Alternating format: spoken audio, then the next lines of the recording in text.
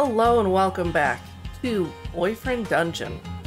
Uh, we are going through, and this is going to be kind of a dungeon delving episode where we're going to try and level up both Sawyer and Pocket.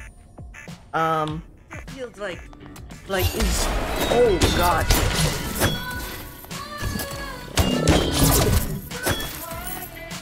How will they? Yes. Okay, that's pretty cool. I like that.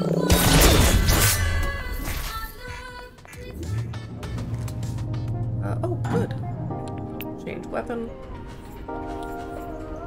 Pocket. Yeah, I'm gonna take my cat drinking. You find a pre-made cocktail on the bar next to a bottle of eau de chat. It smells grassy. Pocket sniffs eagerly at the cocktail and begins lapping it up. Catnip liqueur. His tail curls in pleasure and his purring is strong. It seems so. Perhaps with bird bitters. Seems extra energetic. You like to offer a gift? Decide not to give a gift right now. Pocket leaps back into the dungeon. And you have to pounce to catch him in time. I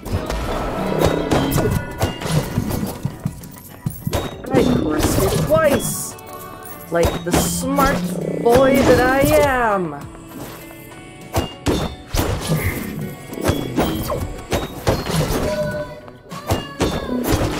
I mean, I'm not gonna lie. The dummy works wonders.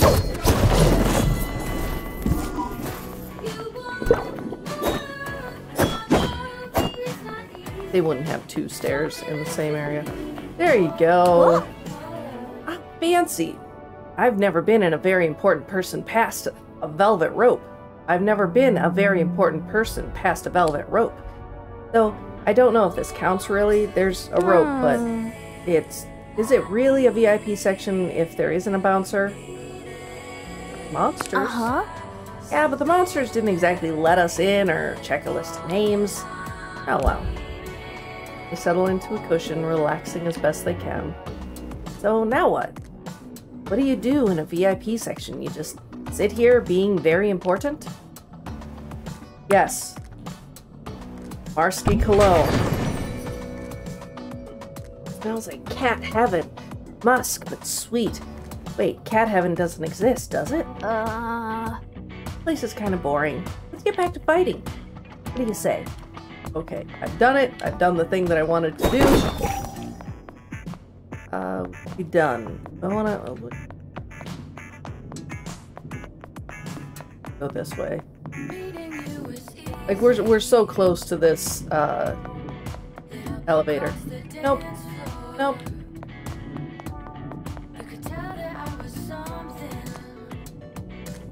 Yep. Breathe a little easier as the doors close behind you. This is the first time that I have ever left a dungeon not inside an ambulance.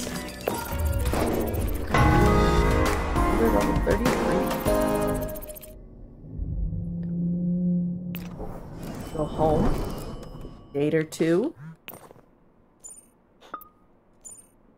You seen Pocket? He hasn't been here in a few days. I hope he's okay. Uh, me too. I also hope that he is okay. Hmm. Oh, okay, we're... Feel something outside the door. The best way to describe it is a presence. Uh? Hello? Soft mew answers you. Open the door to find the one-eyed street cat. This this cat has more than one eye. Artists, uh, this cat has more than one eye. Astarte staring at you. She flicks her tail and walks away, looking back to see if you're following. Follow. Follow the cat at a safe distance. You just see Pocket in, like, a fighting ring. Like, this has just been where he's been for days. He leads you through the streets, her paws making no sound on the concrete. You wonder that the city seems oddly empty for such a beautiful evening. She turns and you seem to have lost her in an alley's shadows. Where did she go? Rumble of thunder shakes the sky, but there are no clouds. Your eyes adjust and you see green and yellow eyes blinking all sides. After a moment, you realize it's not thunder, it's purring. Oh my god, imagine how many cats that would need. Hundreds of cats surround you, watching intently, ready to pounce. As if by one mind, they all rise and flow past you, and you are swept along with them. Find yourself back in the park, at a hole on the hedge you never noticed before. Cats flow into the hole in the hedge. You think you see Astarte's tail flick as she ducks inside too. The park looks the same, yet somehow larger. Grown smaller. What's happening? The answers. It seems like whatever lies ahead you must do yourself, without his help or protection. I'm gonna turn into a cat. You hesitate, noticing that your hands have become paws! The hole glows ominously! You step forward, enjoying the cool of the earth against the pads of your paws. He swashes over you in the place, smelling of herbs and summer afternoons. In the way of dreams, Pocket and Astarte look at you. You understand what, what's happened. You sense Pocket has been fighting for you, literally clawing to get you accepted here. Mr. Cat. Eventually, Astarte accepted you as part of the extended feline family in a place beyond fighting. Before you know it, your fur is combed by a comforting tongue. A rumbling purr shakes your ribcage. I am a kitty! Achievement unlocked out of the bag. Okay, Sulky. After you're hurt, the next attack will do more damage and immobilize. Nine lives after you're hurt, you get a speed boost. Nice. For Sulky, after you're hurt, the next attack will do more damage and immobilize. Yeah, we're gonna be sulky. You look into his eyes and feel deep, abiding, familial love as he grooms you like a sister. Uh, we groom back. Return favor. It's a bit like brushing someone's hair, except fur sticks to your tongue. You sense Pocket is not his true name, but that you are beyond names here grateful that you believed in him, given you his deep trust. Fall asleep in a long sunbeam, longer than a lifetime after this. You wake up warm and refreshed, but with a heavy weight on your chest. After a moment of disorientation, you expect your paws. Hands. They are hands again. Fully awake, you see Pocket is asleep in front of you, nuzzled into your neck. Eventually, Pocket gets up and stretches, watching you curiously. Am I a werecat now? I need to know this. Can I please be a werecat? Focus and concentrate, trying to transform into a cat. Nothing happens. Pocket pauses, then begins washing his paw. Maybe he's hiding a smile. Looks comfortable in your apartment. It occurs to you that you've never seen him quite so at ease. After a moment, Pocket jumps with a chirp, a chirp and slips through your open window. Watch him pick his way along the rooftops. Looks back at you, tail curved. Glow blink. Yeah, we're gonna meow real loud at our cat. Pocket hesitates only a moment, blinking slowly before he slinks away into the cityscape. You have reached maximum love level with Pocket.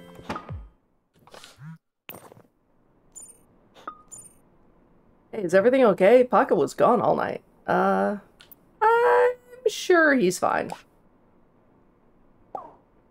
I hope so. Cats are more like roommates than pets, you know? Roommates with fuzzy tummies? No. You're just a bad owner. You gotta give them freedom. You don't. You don't. That's how they get hurt. Oh well, I'm glad he has you for a friend. Me too.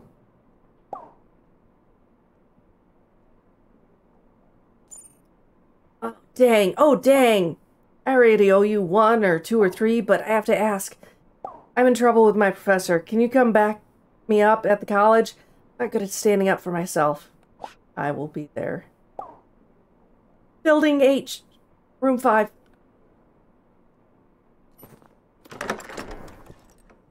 What's up? What did you do this time? Where where's the college? Verona College. I assume that that was all that was yeah, that was Pocket's last date. It's fine. You arrive at the classroom to find Sawyer being scolded by their history professor. A white man. So uh you know, how how are we doing this? Are we duel to the death just until you cry and give up? Like how how you want to do this? You simply cannot survive in this world if you're always forgiven for every mistake. Yup. I know, I'm really sorry, but I'll make it up to you. The professor raises an eyebrow as he notices you. Are you here for the next class? We're almost done. Uh-uh. No, she's with me. A- as a friend, I asked for support. Hmm. Support? Am I so very intimidating? Even to someone as sharp as yourself? Sir, please. If you let me retake the test, I'll show you. I know the material. We're not saying this one out loud because we're not snitches. We're just gonna ask what happened. I was a few seconds late turning in my final and gave me a zero out of a hundred. Uh, Please, Professor, I'm begging you. I really need this credit. Mm-mm. I have no interest in your groveling. You have an interest in my fist going three inches into your nose? It's the policy, you know the rules. I'm just being fair to the other students. aw. If I fail this course, everything is ruined. I can't afford to take it again.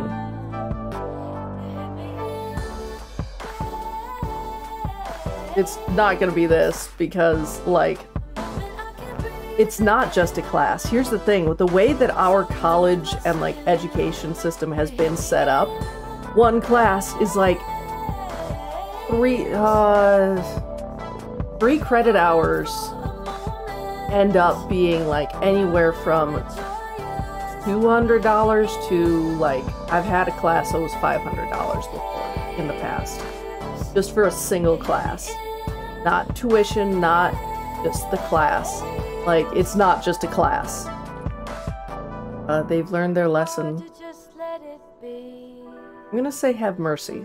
Like they learned their lesson feels like look i understand and i think that you're in the right uh, but they learned their lesson so it's fine. It's have mercy. Mercy. Did napoleon the great show mercy at the battle of mbabe mbabe i don't i don't know how Mm-mm. no this world is about dominance. You should know that better than most as a weapon. Mm, this guy's this guy's pushing a lot of buttons that I don't like. If you read my test answers, you'll see I incorporated theories of weapon forms into my analysis. Oh, very well. I'll only dock 20% of your grade. Now, off with you both. Oh, Sawyer murmurs a quick thank you and they leave the classroom in a hurry. You stay and kick the shit out of him. Can't fight all their battles with them, you know. Some things they have to, they will have to face on their own. Follow Sawyer out and walk in silence together for a few minutes. Find yourselves by the beach. Sawyer looks out over the ocean thoughtfully. I almost totally tanked my semester there just by not paying attention for a few minutes. It's scary how quickly things can change. Like when you cook something at a heat that's too high. Thanks for trying to help. Your support means a lot. I just wish education only measured my learning and cared less about rules and conforming. So yeah, we all know rules are useful sometimes, but that's for things like don't murder. Like that's a useful rule. Uh, a lot of a lot of the academic rules are bullshit and based on arbitrary shit. So definitely. You get me. But I guess the world cares about power more than facts and knowledge, huh? It makes sense. No matter how hard you try, someone with power over you can take everything away. Yeah, nobody can stop us, right? They can't take away our friendship. Friendship. Comes into you. Long hug. Like their eyes. Hmm. Come on, Chief. Jeff. Master's over. Summer's coming to an end. Just me and you. Let's celebrate. I'm hungry. What do you say we grill up something on the beach barbecue? You handle the fire part, and I'll go get some ingredients. What do you want? My treat. You know what? I know it's gonna be a disaster, but we're going with whatever. Yup. Grilled eggs and blueberries, the Sawyer special, coming right up. I regret every decision I have made to lead me to this point in time. You spend the evening grilling and chatting, watching the sunset, and throwing the eggs under the sand and burying them. Oh, Gonah, I wouldn't have survived this semester without you. Financially, academically, or nutritionally. I don't know what you're planning on after this summer, but but even if you leave Verona Beach, I'll always admire you and try to learn from you. Achievement unlocked at arm's reach. And we get either prepared, the throw does damage again on the return, or heavy heart, throw also stuns enemies so that they cannot attack. We're gonna stun all day, every day! It's so much for me this semester. I'm a stronger, more resilient person now because of. But I've been wanting to ask, why do I oil the pan for potatoes but not for bacon? Because bacon makes their own oil. Bacon comes pre-oiled. Spend the rest of the night discussing cooking technique. Bye. Eventually you head home. You've reached maximum love rank with Glaive.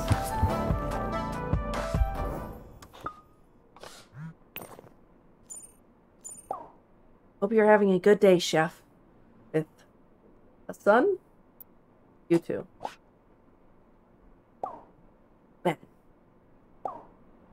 If you put in effort to have a good day every day, then after you leave Verona Beach, you'll remember it as a happy place.